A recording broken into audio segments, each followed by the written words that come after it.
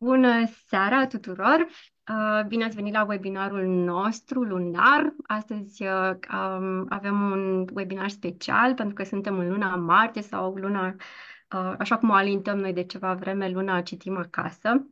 Avem doi invitați speciali care aduc perspective um, și interesante și valoroase asupra unui subiect care ne preocupă tot mai mult, și anume literatura pentru copii. Pentru că literatura pentru copii nu este doar despre o poveste frumoasă și ilustrații uh, care ne uh, îmbie, um, ci este și o sursă inepuizabilă de, de învățare, de imaginație, de conexiune emoțională. Um, în seara aceasta îl avem alături de noi pe, pe scriitorul și traducătorul Florin Bican, care a adus multă bucurie în, în școlile noastre cu scripici și domnul Florin îmi permite să împărtășesc o fotografie din, din școlile de vară de anul trecut. Vă rog. Așa. Uh, sper că se vede. descoperim cu Apolodor în delta păsările în zbor. A, fost, uh, a făcut senzație. Aici aveți um, una dintre școlile de vară din mediul rural, o învățătoare foarte curajoasă care a transformat cartea dumneavoastră într-o adevărată piesă de teatru. Adică observați aici că... I s-a transformat și pe dumnea ei, văd că e pinguin. Exact, exact, exact. Deci, uh, noi, noi suntem de foarte multă vreme, uh, nu știu cum să zic, uh, fani ai uh, cărților dumneavoastră ai, și în special ale uh, traducerilor curajoase pe care le faceți. Asta va fi un subiect pe care vreau să-l dezvoltăm. Dar ca să înțelegeți de ce v-am rugat să fiți ambasadorul programului nostru, că noi suntem de foarte multă vreme uh, cumva împrieteniți cu, cu ceea ce faceți dumneavoastră. Și o mai avem alături de noi pe Bianca Balea, uh, care în mod normal este colega noastră care se ocupă de parte de cercetare, dar astăzi am chemat-o în calitate de mamă, pentru că a crescut cu brio un cititor competent și uh, ne-am dorit așa să vedem cum, cum a fost uh, tranziția aceasta de la um, de la un părinte care își dorește până când vezi că într-adevăr copilul tău citește cu drag. Așa că sperăm că veți găsi discuția de astăzi uh, plină de inspirație, informativă și vă încurajăm să împărtășiți cu noi pe chat întrebări, comentarii, um, deci să, să fiți aici cu noi. Dar fără alte întârzieri, um, mă duc către domnul Florin Bican, căruia îi uh, urăm bun venit în, în echipa noastră a școlilor cu sclipici și um, aș vrea să împărtășiți cu noi uh, un pic despre călătoria dumneavoastră de a deveni scriitor uh, de cărți pentru copii. Nu este neapărat, cred că, cel mai, uh, nu știu, primul lucru la care te gândești atunci când spui vreau să mă vreau să scriu o carte. Așa că suntem, suntem foarte curioase să ne povestiți un pic. Um, asta mi-aduce aminte de refrenul unui cântec uh, foarte popular, îl tot auzeam la radio. Uh, o întrebare retorică până la urmă.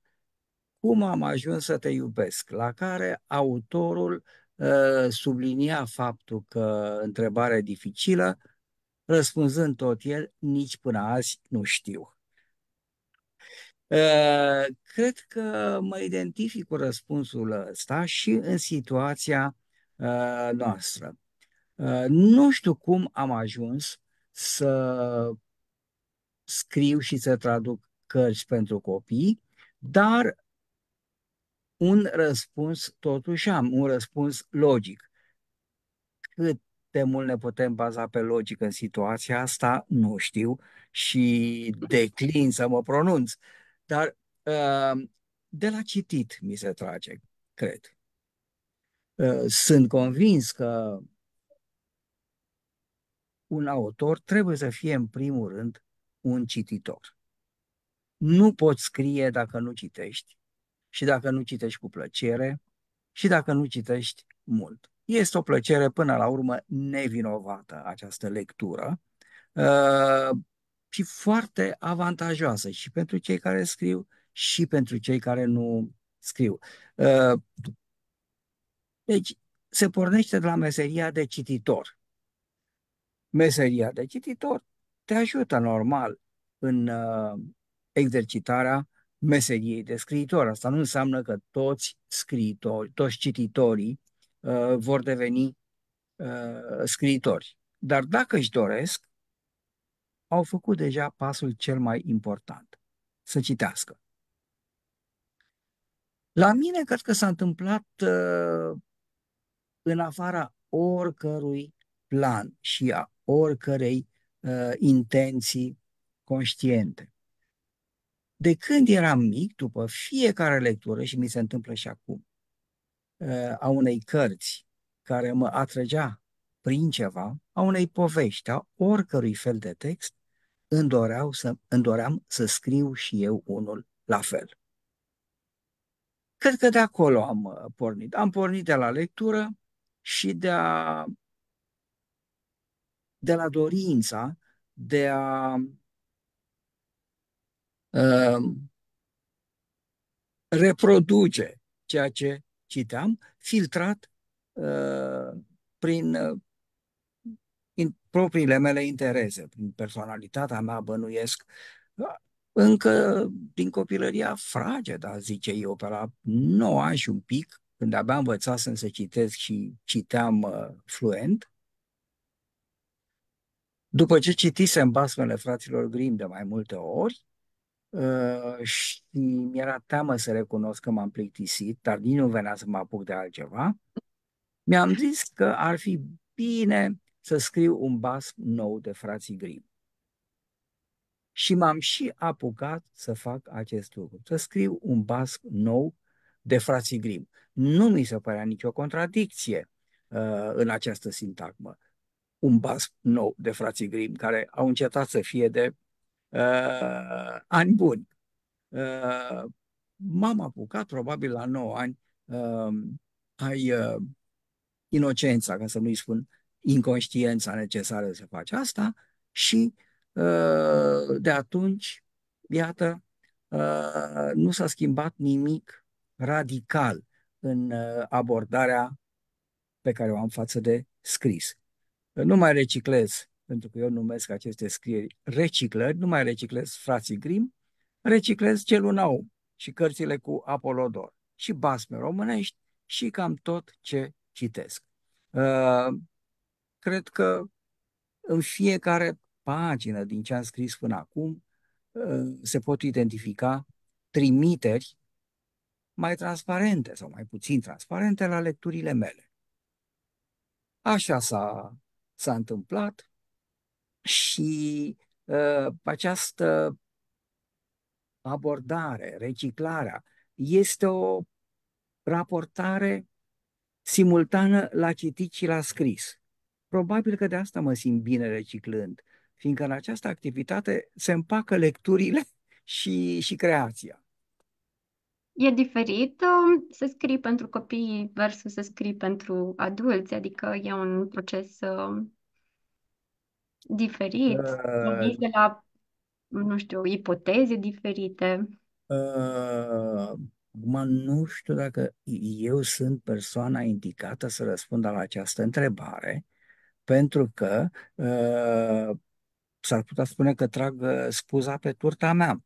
Uh, și turta asta a mea spune că nu e diferit. Cărțile sunt cărți, fie că se adresează copilului sau adultului. Problema este că o carte pentru copii se adresează în egală măsură adultului. A, că adultul nu le citește pentru că le consideră sub demnitatea lui, asta nu mai e problema scriitorului.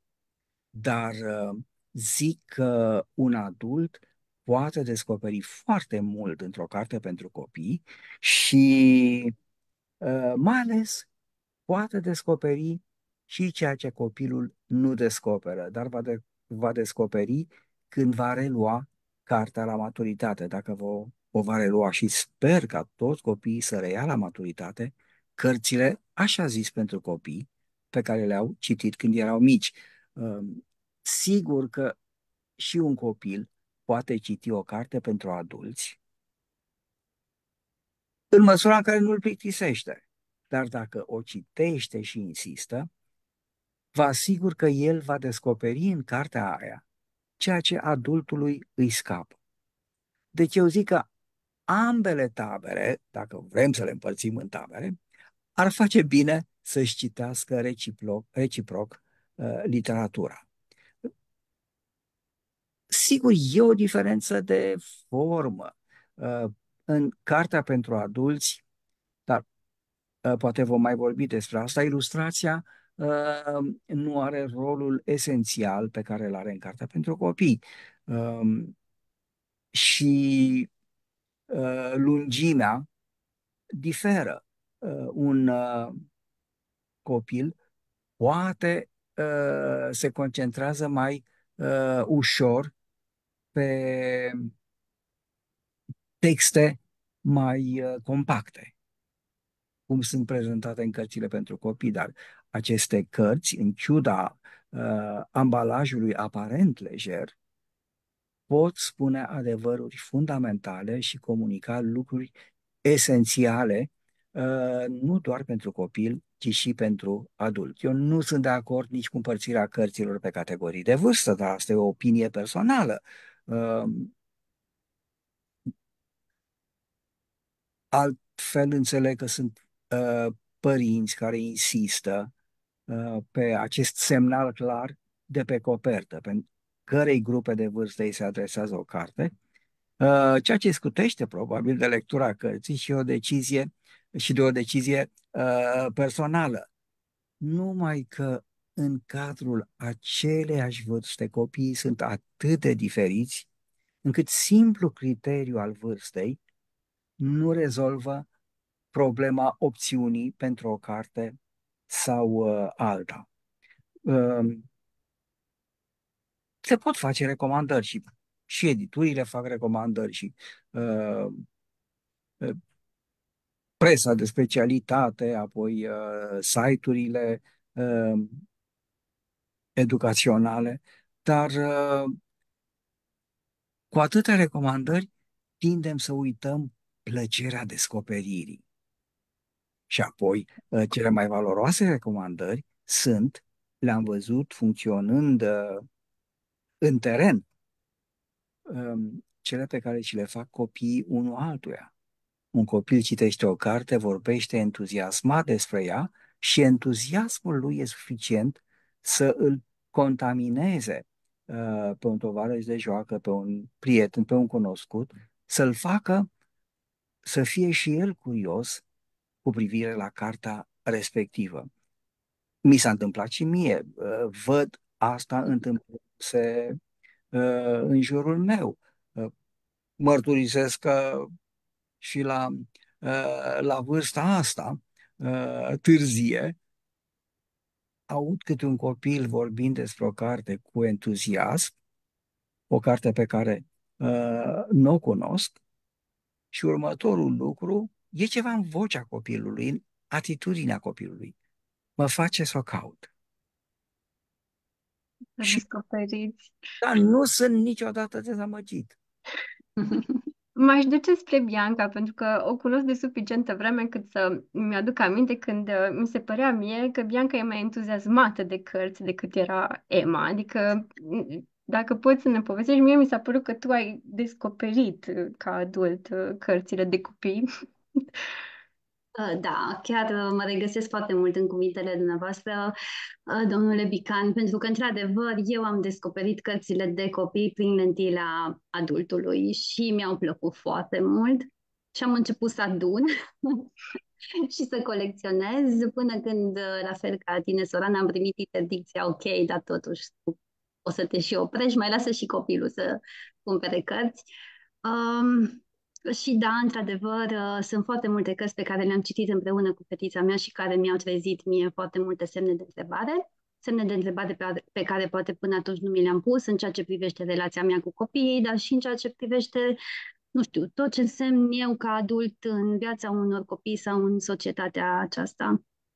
Uh, și cred și eu, cred și eu că nu ar trebui să se facă așa o diferențiere între uh, cărți pe bază de vârstă, ci mai degrabă pe bază de interese, mai degrabă pe bază de curiozitate, mai degrabă pe bază de nivelul la care copilul citește și își dorește să, să îi se citească. Uh, și la fel, uh, eu aș spune mai mult că e mai greu, eu aș spune mai degrabă că e mai greu să scrii pentru copii, pentru că din punctul meu de vedere copiii sunt mult mai atenți la absolut toate detaliile.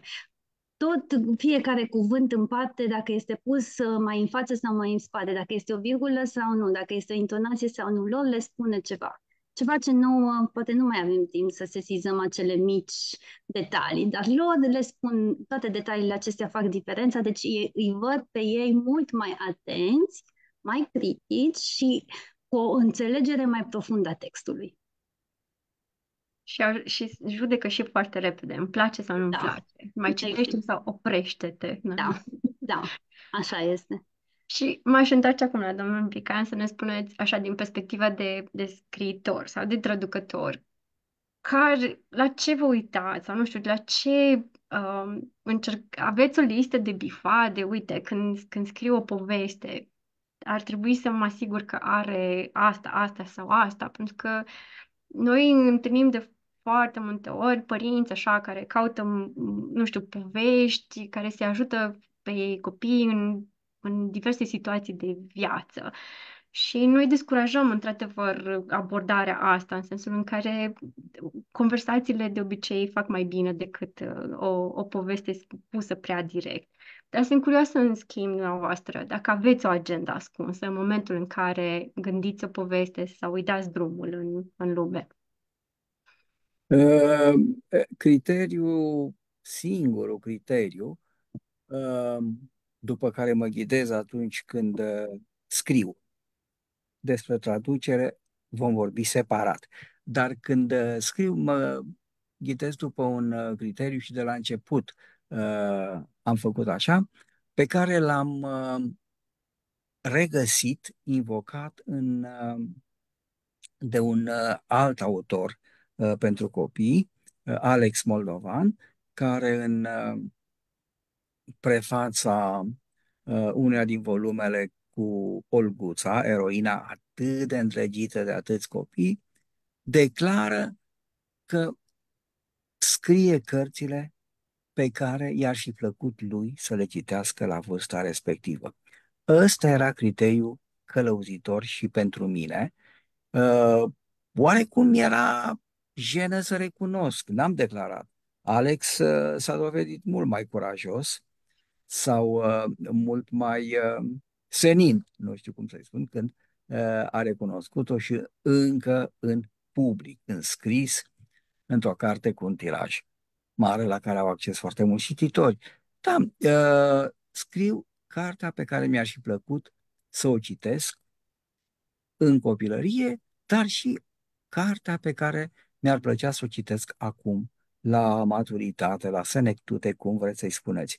Ehm, cartea trebuie să provoace plăcere, să fie atrăgătoare prin ea însăși, nu prin lecțiile pe care le dă. Dacă uh, îi dăm unui copil o carte uh, cu o agenda ascunsă, prin cartea asta o să învețe să sau să nu una alta, uh, cartea e compromisă, dar și uh, înclinația copilului pentru lectură uh, este afectată. Uh, sigur că da, e foarte comod uh, uh, și pentru scriitori și pentru părinți uh, să-și imagineze copiii ca nu Uh, foarte inteligenți. Știu că fiecare părinte spune despre copilul lui că e cel mai inteligent și așa mai departe, dar de multe ori comportamentele noastre, mă includ și pe mine ca părinte,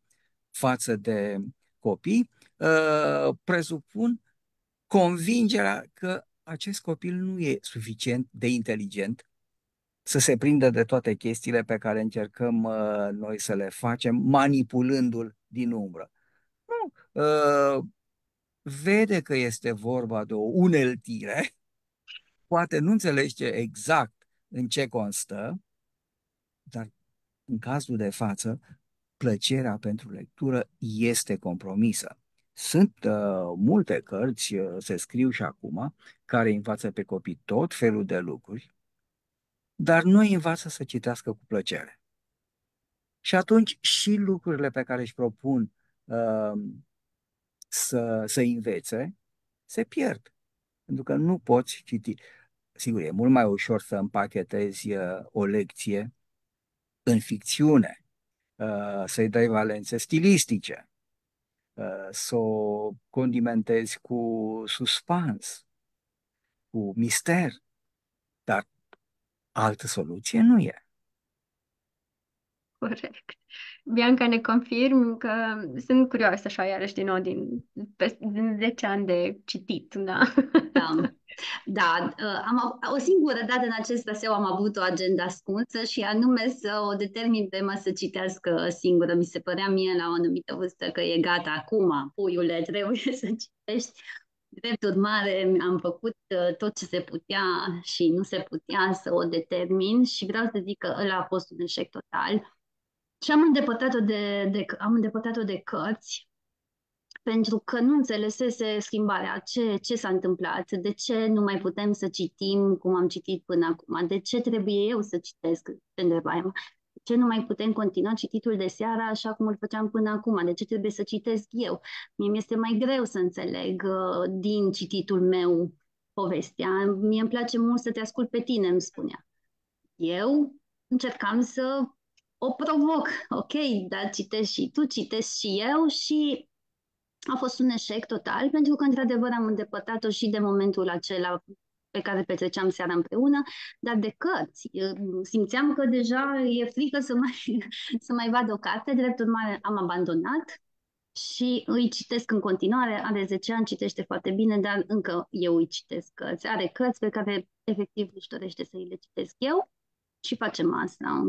Deci, eu înțeleg de mesajele subtile, că asta e, e, uh, cred că e ce vrem să spunem, să dăm curaj părinților, să încerce cărți în care mesajele nu sunt atât de explicite.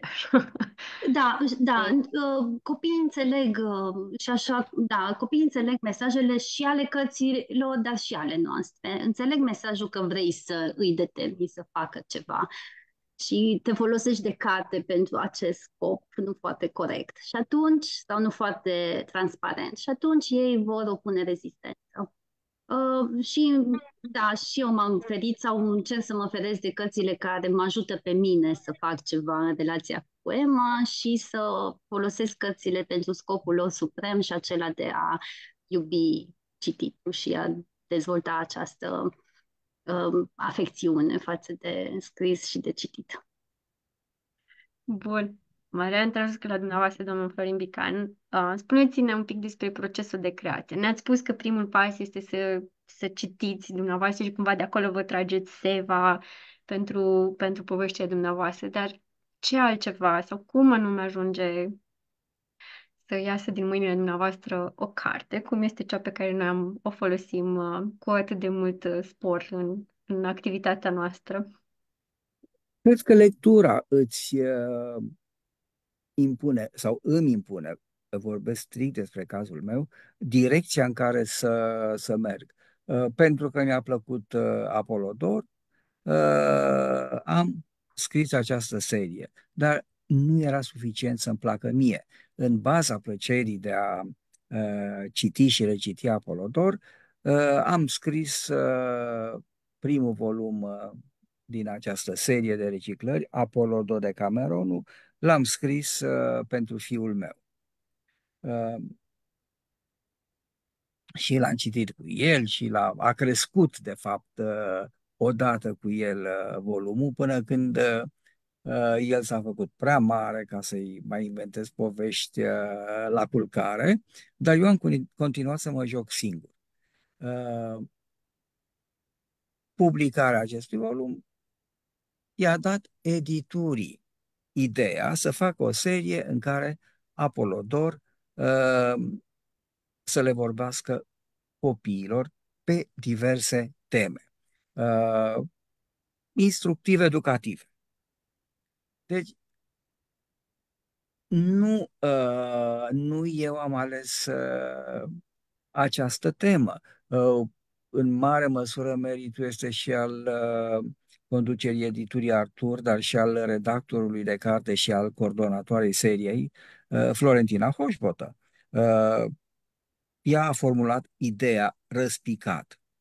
Sigur, mi-a lăsat uh, libertatea de a-mi uh, alege temele uh, despre care să scriu, doar că nici asta nu era o libertate totală, pentru că știam că seria va fi ilustrată de Dan Unguranu, un uh, artist de excepție și uh, m-am gândit uh, cum să-i vin în întâmpinare. Uh, mai ales că e un ilustrator foarte, foarte discret, nu, nu se bagă peste mine, și știam că îi plac păsările. Și din cauza asta, primul volum pe care l-a, l-a ilustrat uh, Dan a fost uh, uh, uh, cel cu păsările din Delta. Și am dat ocazia să deseneze păsări după pofta inimii. La fel e și la traduceri, că m-ați întrebat. Nu eu uh, îmi aleg cărțile pe care le traduc. Totul depinde de o editură. Iar editura uh, sondează după puterile ei uh, piața și se ghidează după opiniile copiilor, dar mai ales după cele ale părinților care uh, finanțează uh, toată problema asta.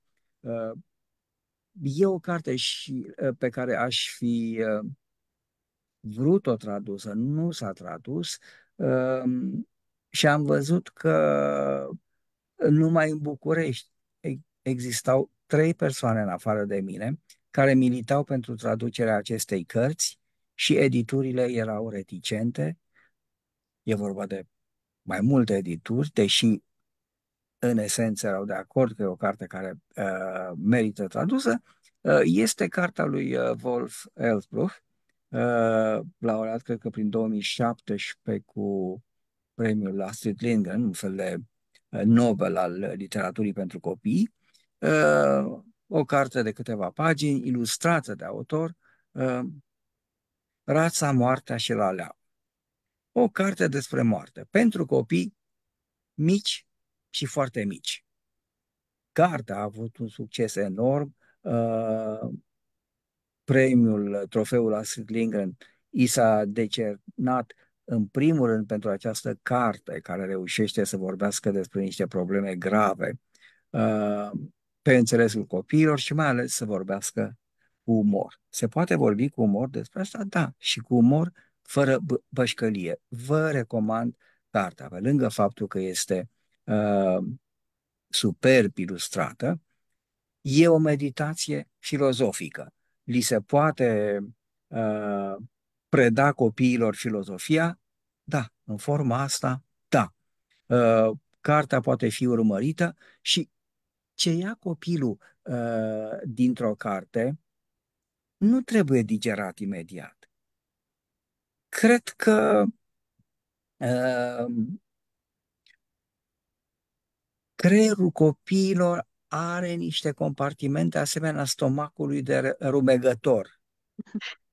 Uh, având așa o memorie uh, bună, și cred că toți care suntem părinți ne-am uh, confruntat cu uh, lucruri uitate și de noi și speram noi și de copii, cu care ei ne confruntă după multă vreme în contextul uh, cel mai potrivit.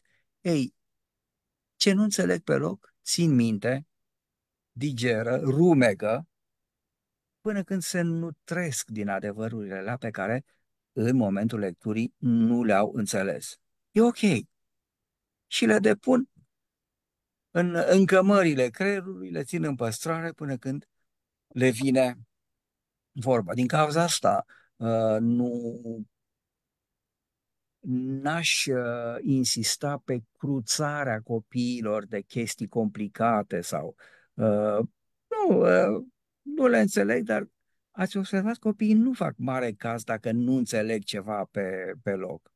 Uh, ei care sunt atât de nerăbdători au răbdarea să nu înțeleagă până la momentul optim. Și atunci chiar vor avea senzația unei revelații.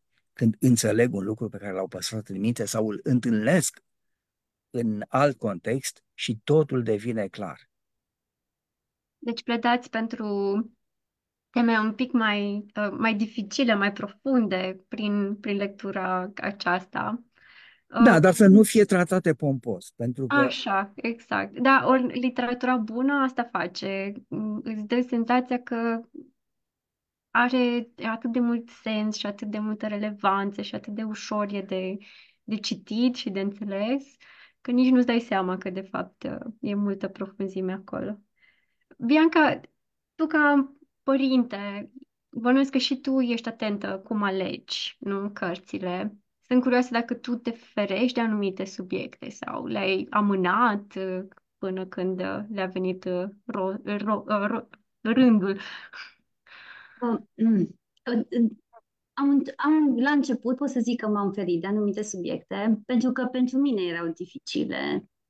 Dar din diferite contexte am înțeles că, de fapt, pentru Emma nu sunt așa dificile, pentru că nu le înțelegea sau nu se uita la ele cum mă uitam eu la aceste subiecte. Drept urmare, am început să nu mă mai feresc de ele și să uh, aduc în viața ei cărțile care vorbesc despre tot ce îi se poate întâmpla în viață, nu doar ce selectez eu și doar ce mi se pare mie drăguț și frumos. Uh, am încercat să-i ofer o întreagă paletă și totul s-a întâmplat cu o Uh, de fapt, a fost o întâmplare că am adus pe masă și acest subiect moarte. Am fost la bibliotecă împreună cu ea, ea este pasionată de păsări și uh, a ales de pe raft găina care nu voia sau nu putea să zboare. Se Mm. numea cartea. Și chiar și ilustrația și, apropo, nu judeca o carte după copertă, părea ceva foarte interesant și fain pentru ea și am zis, sigur, dacă ți-ai ales, o putem lua acasă. Ei bine, cartea aceea este foarte dureroasă. Găina respectivă trece prin atâtea procese atât de grele. Practic, ea crește un pui de um, rață care până la urmă o abandonează și găina din, din nou rămâne singură, dar iubirea găinii pentru puiul la de, la de rață era um, aproape infinită și la sfârșit găina moare. Și eu aproape că plângeam. Dar Emma nu neapărat a fost și ea impresionată, dar avea alte gânduri în afară de pur și simplu moartea în sine. Și atunci a fost momentul în care mi-am dat seama, ok, pentru mine a fost tragică, efectiv, cartea, nu știam cum să-mi ascund sentimentele, dar pentru Emma nu a fost. Și apropo de rața la Leaua și moartea, la Cluj, unul dintre, există un teatru de păpuși, Magic O, Puppet, da. care a pus în scenă această, sau în scenetă, această Uh, carte. L-ați văzut? Eu mi-am Da. propus, dar n-am ajuns. Este Aha. senzațional, este extraordinar. bucur să Din aud păcate asta. am fost o mână de părinți care a acceptat această propunere.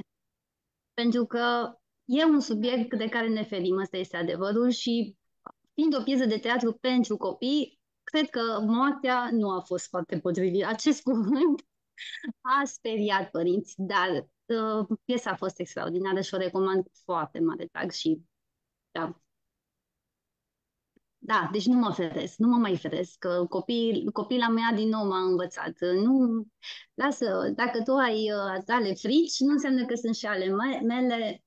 Vreau să cunosc lumea, dăm voie să o cunosc. Corect. Um, spuneați că despre colaborarea cu Dan Ungureanu și în literatura pentru copii contează foarte mult ilustrația, adică mm, inclusiv mm, noi la fundație, pentru că ne dorim foarte mult ca inclusiv eh, copiii care nu citesc să citească pe baza ilustrațiilor, deci o, un, o imagine face cât, eh, cât o carte întreagă. Povestiți-ne un pic despre colaborarea cu ilustratorul și cum facem o poveste să, să prindă viață prin, prin imagini. Uh, aș porni tot de la o carte. Uh, începutul uh, cărții mele favorite, recunosc asta, uh, Alisa în țara minunilor. Alisa este pe malul râului, într-o după-amiază superbă de vară, alături de sora ei mai mare, care citește. Și Alisa se plictisește. Se plictisește atât de tare încât încearcă să citească din cartea surorii ei. Dar foarte repede ajunge la concluzia că e o carte mai plictisitoare chiar decât realitatea ei imediată, pentru că, citesc din Lewis Carroll, nu are ilustrații și nu are dialog. Imaginea, uh, sunetul, dialogul se adresează direct simțurilor. Au un impact direct asupra uh, cititorului, nu mai sunt filtrate uh, prin creierul decodificator. Ei, ăsta este uh, rolul ilustrației. Trezește și menține inter, uh, interesul copilului. Dar uh, mai mult decât atât, ilustrația este parte integrantă a poveștii. Povestea rezidă și între echilibrul dintre text și ilustrație. Din cauza asta, un ilustrator bun e lucru mare și mă consider foarte norocos să fi lucrat cu uh, Dan Ungureanu. De fapt, uh, e el drăguț pentru că îmi cere părerea. Eu nu m-aș îndrăzni să, n-aș îndrăzni să mă bag peste ilustrator să spun ce să facă, cum să facă, pentru că, credeți-mă, ilustratorul știe mai bine. Uh, Acum, uh, de când uh, locuiesc în Ardeal, am uh, auzit expresia nu te băga pe ceteraș, care înseamnă, cum mi s-a explicat și cum am mai înțeles, lasă-l pe unul care știe să-și facă treaba, să-și o facă și nu-i spune cum și mai ales nu încerca să colaborezi pe segmentul lui de acțiune, cu el când nu ai pregătirea necesară. Deci, cum uh, ilustratorul nu vine să, să spună mie cum să scriu textul, de ce aș veni eu peste el să-i spun uh, cum să-l ilustreze? Sigur că da, mă tentează uh, o colaborare inversă, să scriu un text pornind de la niște ilustrații. Și am avut uh, de două, trei ori ocazia să fac lucrul ăsta, dar uh, plănuiam împreună cu uh, coordonatoarea, coordonatoarea Clubului Ilustratorilor, Stella Lie, profesor la Academia de Arte Frumoasă din București, o carte. Ea a, împreună cu ea am făcut două antologii de texte pentru copii, bucătăria de texte și imagini și plănuiam ca la a treia, la care n-am ajuns și probabil nu o să mai ajungem, să-i rugăm pe uh, ilustratori să propună o poveste în imagini și autorii să vină ulterior cu textul. Uh, mi-ar fi plăcut foarte mult proiectul ăsta, dar n-a fost uh, să fie. Sunt tot felul de colaborări. Eu am dat doar exemplul meu și am avut uh, parte de ilustratori de a, a căror uh, uh, ilustrație să fiu uh, încântat, dar uh, mă gândesc la Roald Dahl. Roald Dahl era cu biciu pe cu Quentin Blake. Uh, îi spunea cum să ilustreze, îi trimitea desenele înapoi că nu sunt bune, să le refacă exact uh, ca, ca niște teme de școală uh, atunci când îi rup copilului foaia și spui de la început nu e bine. Uh, pe de altă parte, că tot am vorbit de Lewis Carroll, um, Sir John Daniel, ilustratorul lui, era cel care um, avea comanda în cazul ăsta. Uh, el uh, îi spunea lui Lewis Carroll ce să modifice, dacă vrei să-ți ilustrezi, scoate asta, nu mai zi asta, zi și că uh, s-au păstrat uh, aceste schimburi în corespondența lor și e spectaculos și s-a ajuns până acolo încât uh, la, la ordinul lui uh, Sir John Daniel, Lewis Carroll a scos un capitol din uh, Alisa în țara minunilor. Era un capitol despre o fiespe cu perucă. Capitolul a fost întâmplător găsit după uh, aproape 100 de ani. Uh, l-am citit și uh, mi se pare foarte frumos. Dar Lewis Carroll a executat. A tăiat capitolul și l-a abandonat de, de a stat pierdut atât, atât uh, amar de ani. Um, dar sigur că ilustrația este importantă. Uh, regret că n-am niciun talent în direcția asta. Îi apreciez pe autorii ca Wolf Elfbruck, despre care am vorbit, care își ilustrează singuri cărțile. Cred că au uh, un avantaj. Dar și din colaborările unui uh, autor cu un uh, ilustrator poate ieși o, o chimie foarte spectaculoasă. Dar nu, nu e un singur, uh, o, o singură soluție. N-aș, n-aș propune o cale. Ceva ce funcționează. Unul dintre librarii noștri favoriți de la librăria Tutim și Tutoc uh, ne povestea un lucru care mie mi s-a părut uh, ciudat, dar o să te rog pe tine, Bianca, să confirm sau să infirmi, și anume că se duc părinții și caută în cărți și spun, păi uite, e o carte cu desene și sunt 3-4 cuvinte aici. Cum să plătesc atâția bani pentru 3-4 cuvinte pe o pagină? Și mm, mi se pare ciudată abordarea asta, dar Bianca, poate poți tu să ne ajuți un pic să ne calibrăm, adică de ce da, este atât de valoroasă o carte în care și ilustrația este la fel de importantă ca și textul. Um, din, uh, sigur, acum vorbesc și eu din ce am experimentat cu Emma, dar um, s-a întâmplat de foarte multe ori să-i citesc Emma dintr-o carte foarte frumos ilustrată sau cu niște detalii foarte interesante sau foarte mici detalii, să-i citesc și să o întreb, pot să trec mai departe? Și a să-mi spună, păi mai citește-mi o dată că nu am fost atentă. Păi, mă, dar eu citesc degeaba. Păi nu, mă, dar eu m-am uitat la, dese, la de ilustrații. Mie mi-a spus uh, altceva. Eram atent acolo. Și mi-am dat seama că da, stai puțin, că eu îi citesc, povestea este una, ilustrația este alta și împreună, de fapt, construiesc o poveste în mintea copiilor.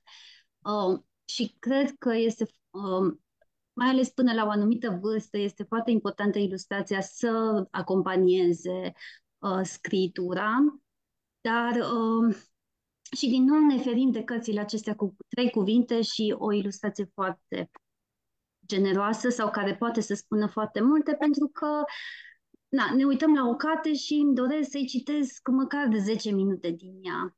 Dar cartea respectivă zice mai multe. Am cărți fără cuvinte efectiv sunt cărți fără cuvinte, care mai ales când era un pic mai mică le, le aprecia, pentru că tot timpul era altă poveste. Deschideam cartea și bineînțeles că nu mai mi-aminteam ce am zis data trecută și se reconfigura povestea. Mai venea ea cu, un, cu o schimbare și aveam altă poveste sau îmi zicea, da, aici parcă ai zis data trecută că îl chema nu știu cum, acum îl cheamă altfel. Deci depinde foarte mult de așteptările adultului și cred că asta aș face, să ajustez eu așteptările și să las un pic să-și creeze copilul relația cu cartea și să fiu atentă, efectiv să fiu atentă dacă mai are nevoie de timp să înțeleagă ilustrația să îi ofer. Cred că asta... Dar da, cărțile puține cuvinte sunt la fel de valoroase cu cele cu foarte multe cuvinte. Corect. Și acum o întrebare pentru amândoi, de fapt, este cum totuși găsim un echilibru între învățare și plăcere. Adică vrem să creștem cititori care găsesc plăcere în, în lectură și cu toate astea uneori vrem să, ca Apolodor să facă să meargă până în dete și să se întâlnească cu niște păsări specifice, ca să deschidem, da, un pic vocabularul, un pic înțelegerea asupra unor altor fenomene.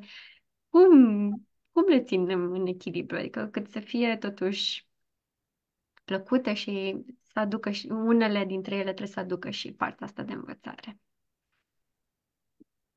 Uh, uh, doamna Balea? Uh,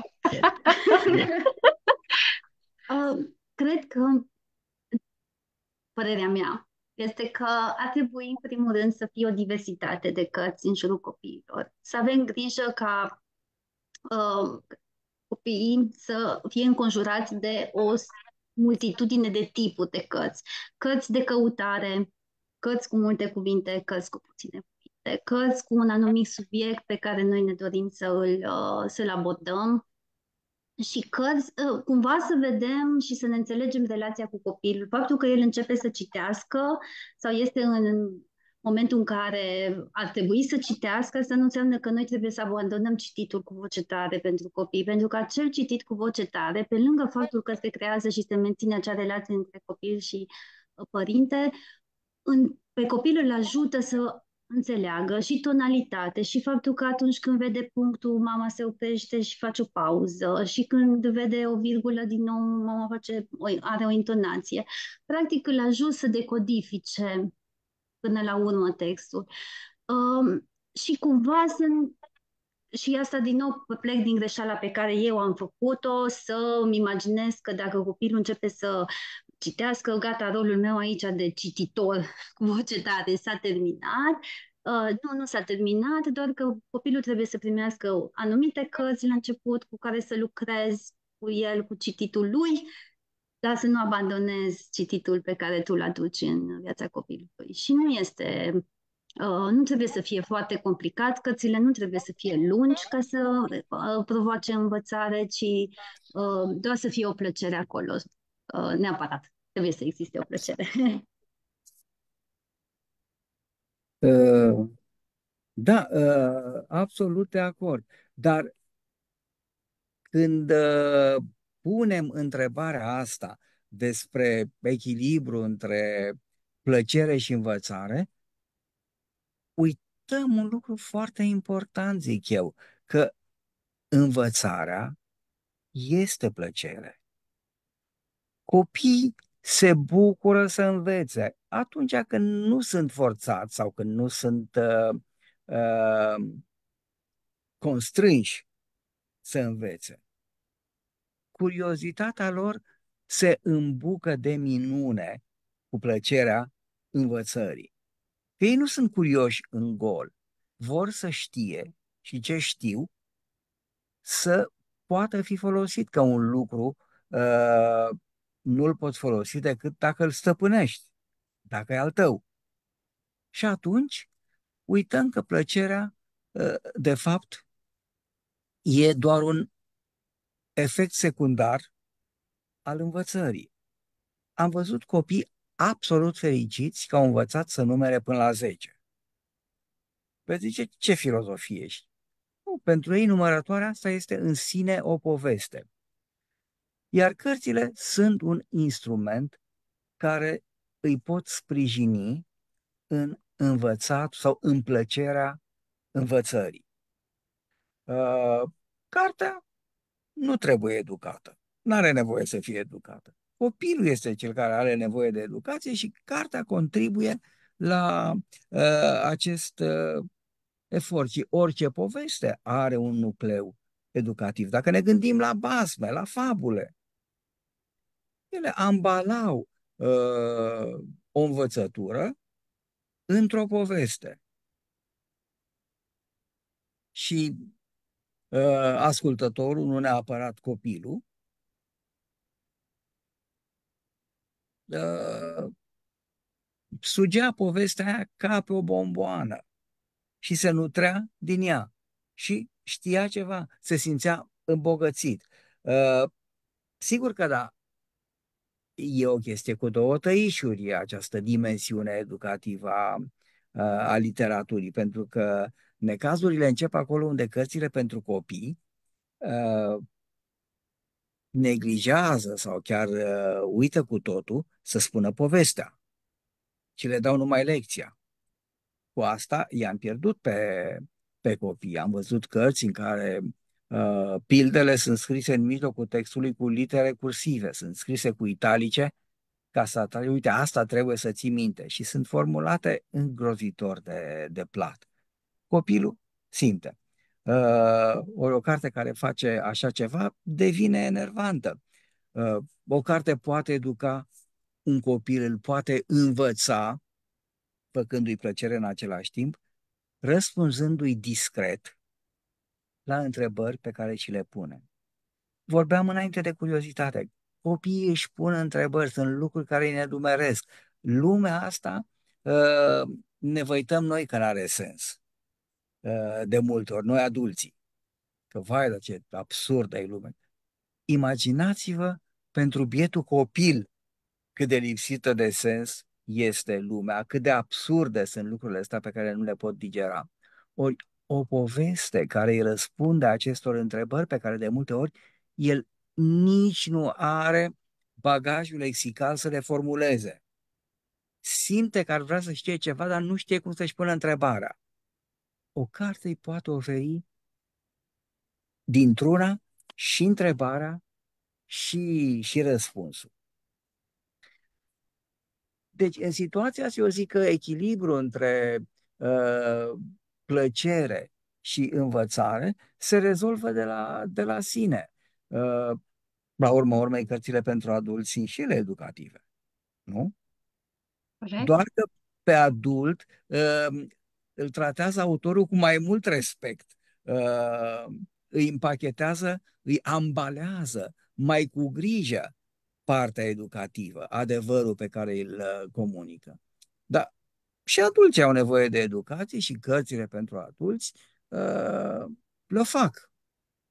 Dar uh, atâta vreme cât o carte nu cade într-un didacticism pedant, e bine, uh, e, uh, chiar e minunat să-și educe.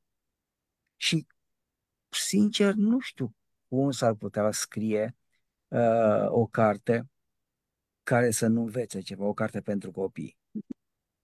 Pentru că povestea asta, povestea ne învață, povestea ne educă. Corect. Um, Asta deja mi-am anticipat, nu vreau să încheiem așa pe o notă de negativ, dar cumva simt nevoia să resetăm un pic așteptările și ale educatorilor, învățătorilor cu care noi lucrăm cu atât de drag în, în programele noastre și ale părinților care sunt de multe ori în uh, beneficiari indirect ai uh, în programului de literație. Și, um, unu, da, deci suntem atenți să nu cădem în ceea ce spuneți dumneavoastră, didacticismul acesta pedant, adică forțăm foarte tare o lecție, fără să avem grijă la poveste. Um, evităm niște subiecte doar pentru că credem că copilul nu este uh, pregătit. Ce altceva mai înțelegem noi greșit în momentul în care alegem uh, cărțile pentru copii? Pentru că de Uh, multe ori uh, ne întâlnim cu părinți și spun, eu i-am citit și am tot citit și uite-te că tot nu citește și nu o face cu drag. Și um, cred că e ceva acolo ce se întâmplă mai devreme în proces. Și de obicei are de-a face cu noi adulții, nu cu cei mici. sigur că da, ca adult, uh, iertați-mă că m-am băgat uh, primul să, Nu, e în să regulă. spun. Uh, A, uh, mă gândeam că mi-a venit acum în, uh, în minte o, o formulare minunată. Uh, este o, uh, o învățătoare uh, din Statele Unite care are și un, uh, un blog uh, educativ și e mare iubitoare de, de povești. Uh, și la ea am întâlnit un adevăr care mi se părea că îl știu, dar nu l-am văzut formulat atât de, de clar. Ea spune, copilăria este o țară străină, unde lucrurile se fac după alte criterii. Uităm asta. Uităm că uh, ne adresăm locuitorilor unei lumi din care am ieșit. Nu e remediabil. Dar uh, lumea asta a copiilor are niște reguli care de multe ori diferă și diferă întemeiat de regulile lumii în care ne mișcăm noi. Și situația, uh, de fapt, nu ne permite să impunem regulile acestei lumi, pentru că regulile lumii copiilor țin de dezvoltarea lor. Am, uh, am citit pe, pe tema asta și ceea ce doar intuiam uh, mi-a fost explicat foarte convingător. O dezvoltare uh, fizică uh, îi face părtaș a unei lumi care nouă nu ne mai este accesibilă și vai de noi dacă uităm cum funcționează lucrurile în, uh, în lumea aia. Uh, dar până recent, uh, până în secolul 19 aproape, după estimări, după, după date, copiii erau tratați ca niște adulți în miniatură. Și săracii tăceau și înghițeau, răbdau că n-aveau de ales. Uh, forța coercitivă a adulților uh, se manifesta fără restricții. Dar uh, uitați-vă și la felul în care se, se îmbrăcau fetițele, mă rog, într-o anumită parte a societății purtau crinoline de la vârste fragede, exact ca adulții. Băieții erau și ei îmbrăcați cu uh, toate detaliile vestimentare ale unui uh, adult. Singura, eu știu, uh, singurul compromis erau pantalonii scurți. Dar în sus aveau sacouri în clasele de jos, săracii erau toți la fel de prost îmbrăcați. Dar noțiunea că un copil este un adult în, uh, în miniatură se păstra. Și uh, când prin uh, 2001 uh, un uh, psiholog uh, de marcă, uh, Jean Piaget, spunea răspicat, ca și cum ar mai fi fost nevoie să uh, insistă, dar iată că a fost, copiii nu sunt adulți în miniatură. Copiii sunt copii, sunt locuitorii unei alte țări unde lucrurile se fac după alt tipic. Ceea ce nu ne împiedică să avem relații prietenoase cu locuitorii țării respective, e chiar uh, dezirabil și e productiv pentru ambele dar cred că un copil ne vede pe noi, adulții, mult mai spontan ca locuitori ai unei alte țări sau ai unei alte lumi. Ei săracii înțeleg. Ei, cel mai adesea adulții nu. Se așteaptă ca și copiii să subscrie la regulile lumii adulților, pentru că, nu așa, eu îi dau de mâncare, eu l-am făcut, eu l omor și toate știți. Da. auzim, auzim des uh, genul acesta de exprimări. Da. Bianca, tu ca uh, după o experiență de 10 ani de încercări, da. câștiguri, ce, ce ne spui tu referitor la înțelegerea noastră ca adult mm, în, în, ca în, în noi însoțindu-i pe ei în călătoria aceasta de a deveni cititori?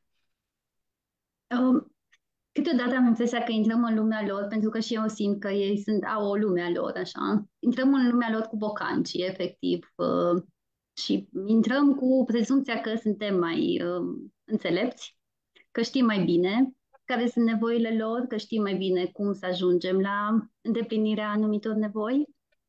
Dar de multe ori, ce puțin eu am învățat că, sau am cu experiența, că copiii își cunosc nevoile foarte bine și dacă suntem un pic atenți, trebuie doar să-i ghidăm și să îi sprijinim.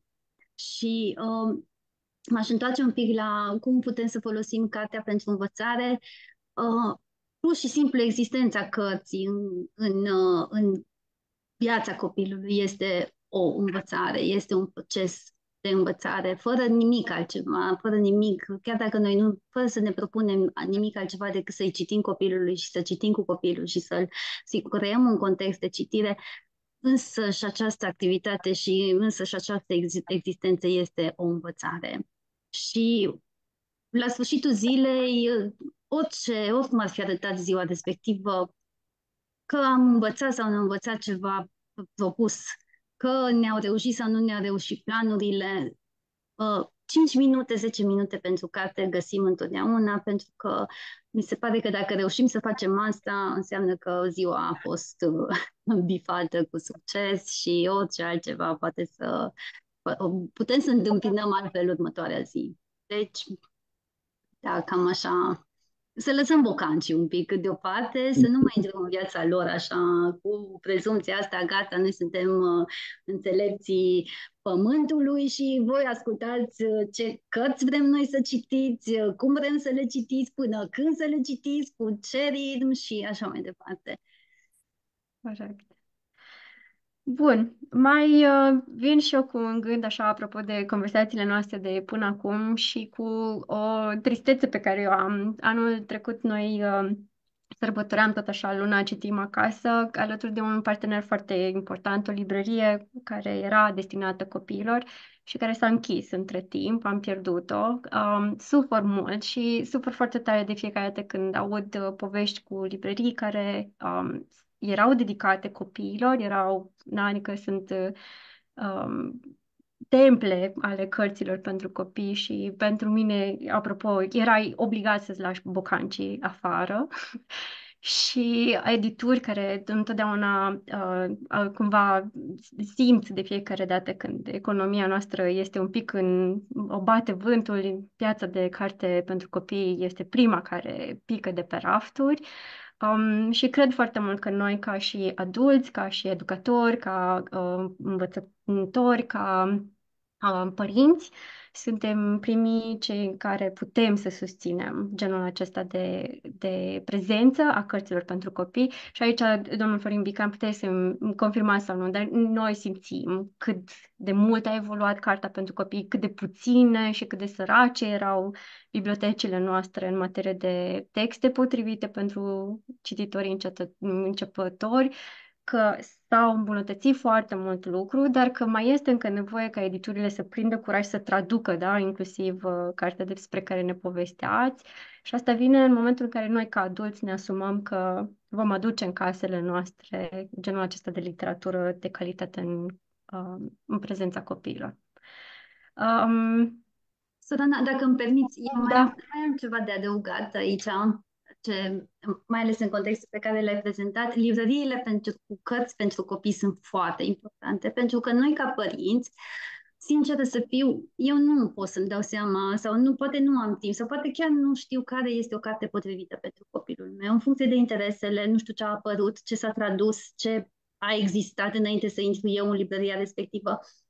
Internetul este foarte convenabil și foarte rapid, dar din nou trebuie tu ca părinte să filtrezi sute de cărți. Și o librărie pentru copii, cum a fost cea din Cluj, Totimi și TikTok, îți oferea această siguranță că intri acolo și mergi cu o carte valoroasă, cu o carte care va produce ceva în viața copiilor. Și, apropo de susținere, noi nu mai avem în Cluj pe cine să susținem, dar dacă ne ascultă cineva din alt oraș în care există o librărie, încercați să o frecventați mai des, pentru că pe lângă faptul că o cumpărați cartea respectivă, poate dați cu 3 lei în plus față de ce găsiți online, dar însă și experiența de a merge cu copilul la o librărie, să-și aleagă cartea, să o răsfoiască, să dispute cu un librar, merită mai mult decât orice altă economie pe o, o puteți să faceți. Deci, dacă aveți ce să susțineți, susțineți. Noi nu avem. Să sperăm că o să, o să mai avem. Da. Corect. Și bibliotecile. Și bibliotecile, da, clar, desigur. În Cluj stăm foarte bine la capitolul biblioteci. Da, așa este. Biblioteca județeană și uh, antenele ei din, din teritoriu uh, au secții de carte pentru copii foarte bine pusă la punct și bibliotecari dispuși să ghideze cititorii. Așa este, da. Bun. Um, îndrăznesc, nu știu dacă, vă rugasem luni să ne spuneți dacă vreți să ne citiți o, un textuleț care vă place noastră. Nu știu dacă ați apucat să... Da. Uh, e foarte simplu, pentru că am un astfel de text și nici nu e nevoie să-l citesc, pentru că îl știu pe din afară. Așa. Dar context, l-am, l-am rugat pe domnul Florin Bican să se gândească la un text pe care îl citește și recitește și să ne-l citească și nouă ca să, să ne rămână reper de ce înseamnă această literatură pentru copii bună, faină, care merită uh, valorizată pe termen lung și foarte lung. Așa că vă rugăm să închideți seara. Câteva cuvinte introductive, dacă îmi permiteți, este Sigur. un text Lewis Carroll, din uh, peripețiile Alisei în țara oglinzii, în uh, fabuloasa traducere a Fridei Papadache, uh, o traducătoare foarte activă în secolul trecut, în secolul 20, dar ceea ce nu se întâmplă foarte des în cazul traducerilor, traducerile ei nu sunt perimate nici astăzi. Și această poezie, deși este compusă din, în cea mai mare parte din cuvinte care nu există, m-am trezit că o știu pe de rost fără să-mi propun, după lecturi uh, succesive de plăcere. E un text cu care îmi place să-i confrunt pe copii, ca să-i văd cum de la prima lor reacție, dar nu se înțelege nimic, încet, încet, pe baza memoriei, nici nu trebuie să le citeze două ori textul, îmi spun povestea. Deci, ă, textul ă, în ă, traducerea titlului este Trâncăniciada, The Jabberwocky. Era friglind. Linsoase zăvi se tot girau, gimblau în ob, numai min soare borogăși când momii sorte șciob. Păzea vrac fiu de trâncăvici fălci care mușcă gheară rea, Cârul bolgor zboră spre aici, frumosticul, păzea. El spada o luă cât ai clipi, lung îl cătă pe scârțălat, popas făcut la dum-dum tri, pe gânduri cufundat. Și cât pe gând el sta hădus, cu ochii în flăcări trâncăvici, șuflând venea halop pe sus, volvor, prin gros de siș. Un doi, un doi, ca în oase moi gravaltă, își străpunge zgrunț, mort îl lăsă și tig vai lua, glapă înapoi, zglobunț. Și-ai omorât pe trângăvici, o, fătul meu gloluminos, o, zifru slavo, hei, ohu, lubăia voios. Era friglind, din soase zăv se tot girau gimbla un ob, numai min soare borogăși când momii sor deșciob. Iată. Este un text care spune o poveste și copilul uh, când se liniștește, că prima reacție e de panică. Constată că înțelege, că știe că eroul se luptă cu un monstru, îl învinge și se întoarce bucuros acasă și este felicitat de tatăl lui. Iată că uh, putem înțelege și ceea ce ni se pare că nu înțelegem. Din cauza asta este un text uh, la care eu țin foarte mult, că ne arată că lectura nu e așa de grea cum ne dictează spaima noastră inițială, chiar la texte simple. Mulțumim frumos că ați împărtășit cu noi Chiar este uh, minunată. Avem deja un comentariu care ne roagă să punem acolo toate titlurile discutate. O să revenim spre ei. E minunată povestea lui Trăcăvici. Bun, um, vreau să închei seara cu câteva gânduri. Unul este că am, am s-a desfășurat în această perioadă luna Citim acasă. Am avut 50 de grădinițe, școli, biblioteci care luna aceasta au organizat uh, tot felul de evenimente în care au încercat să-și implice părinții și copiii.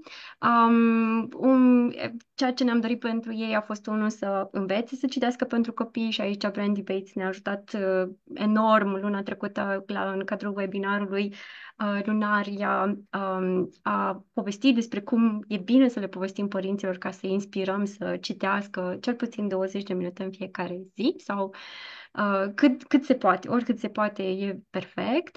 Um, au organizat schimburi de cărți, mai ales că multe din activitățile noastre sunt în mediul rural, unde Poate cel mai bine și cel mai prietenos este, în primul rând, să ne asigurăm că toate cărțile circulă.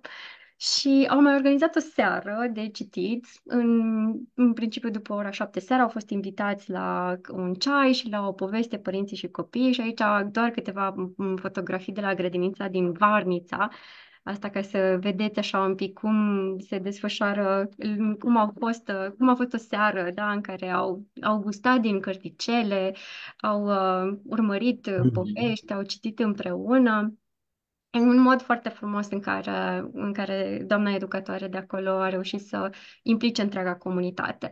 Credem mult că genul acesta de, de întâlniri uh, organizate în aceste spații, da, unde, de unde să înveți să citești cel mai bine, la școală, la grădiniță, la bibliotecă, unde sunt deja oameni care fac asta cu foarte mult succes, Um, și um, ne bucurăm mult că au, au fost atât de multe școli, grădinițe și biblioteci care au făcut genul acesta de activități.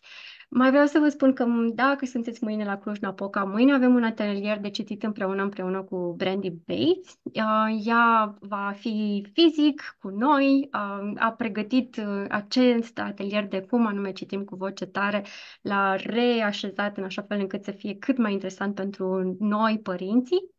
Um, și credem că dacă sunteți pe aici, merită să veniți uh, împreună cu noi.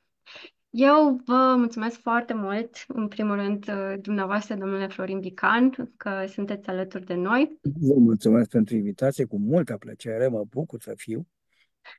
Și mulțumesc mult și Bianca că ai fost aici uh, mamă care vorbește cu multă deschidere și vulnerabilitate prin, despre încercările tale împreună cu Emma este încurajator să știm că putem oricând să, să, să avem oricâte încercări, copiii au răbdare și ne așteaptă să le citim și să ne bucurăm de aceste momente cu ei. Mulțumim mult! Vă mulțumesc! Și noi!